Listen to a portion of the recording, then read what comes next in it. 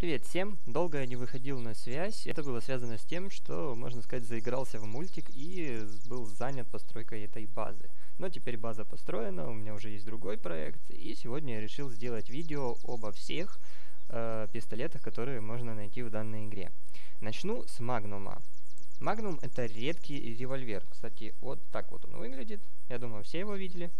Это редкий револьвер, который можно найти в гражданских постройках и на военных базах. Он использует э, Winchester Clip с шестью зарядами. Обойму можно пополнить самыми простыми гражданскими патронами, которые валяются абсолютно везде.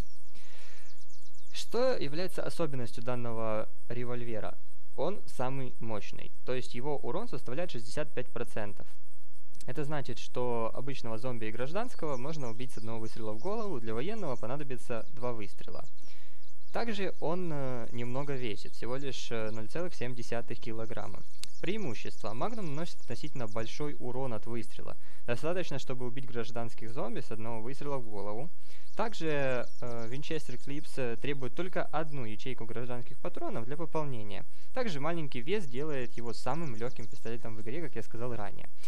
Из недостатков, как и все пистолеты в игре, Magnum обладает медленным темпом стрельбы, то есть нельзя использовать тактические модификации, хотя, в принципе, надеть можно, к нему на, э, подходит абсолютно все, но э, практического смысла от этого нет никакого, потому что даже глушитель глушит не совсем корректно, можно так сказать.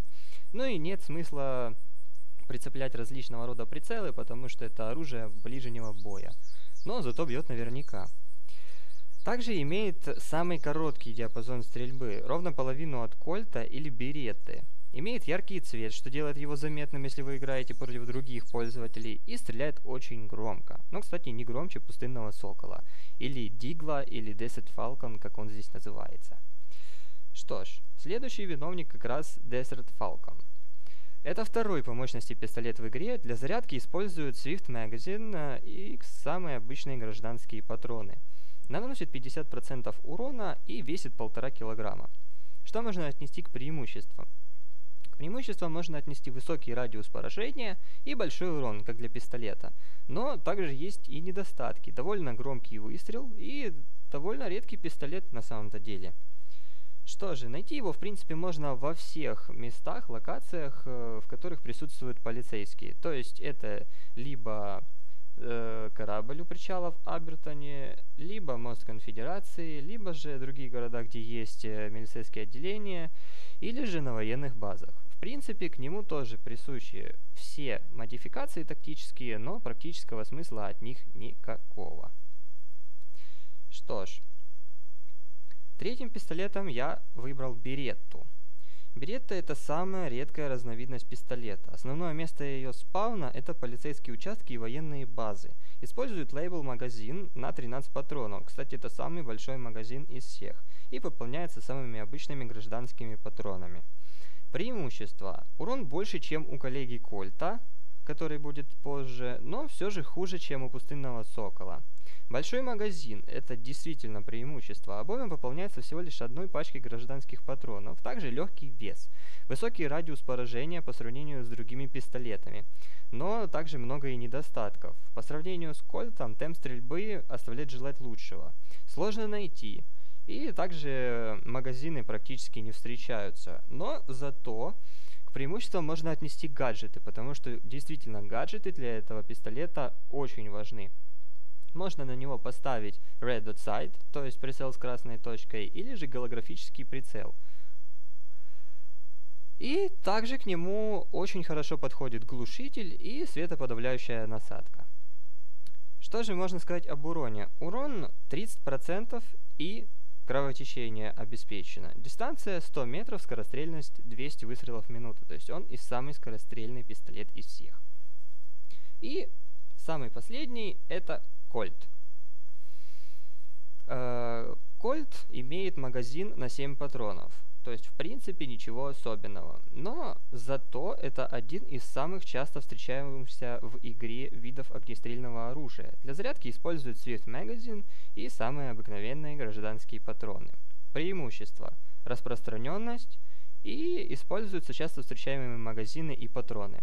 Но, к сожалению, недостатков больше. Небольшое количество патронов, 7, бесполезен на э, поздних этапах игры, то есть когда пользователи относительно прокачаны, потому что это самый слабый из пистолетов. И также наносит маленький урон 3 выстрела в гражданского и 2 в голову, или же 5 выстрелов военного зомби и 3 в голову. Ну, согласитесь, это совсем никуда. Ну что ж, говорили-говорили, давайте теперь по очереди постреляемся. Здесь как раз много зомби.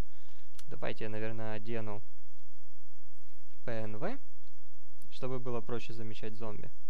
И пойдем стрелять. Будем стрелять по очереди из всех пистолетов. Ну что, первый зомби. Для него нам понадобилось, как и говорилось, два выстрела. А вот гражданский. Для гражданского понадобился всего лишь один. Что ж, переключимся на другой. Desert Eagle.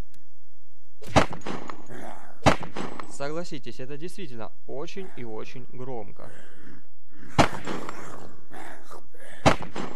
Но зато мы вынесли уже нескольких зомби.